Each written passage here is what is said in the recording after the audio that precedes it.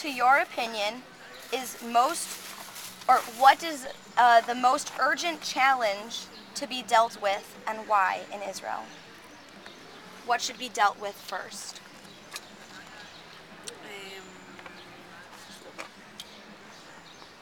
I believe that the peace um, that we have a, um, security in our country and uh, we, we have a, a calm and we, we would like to, to be um, uh, uh, to be safe and that we, we have peace in Israel.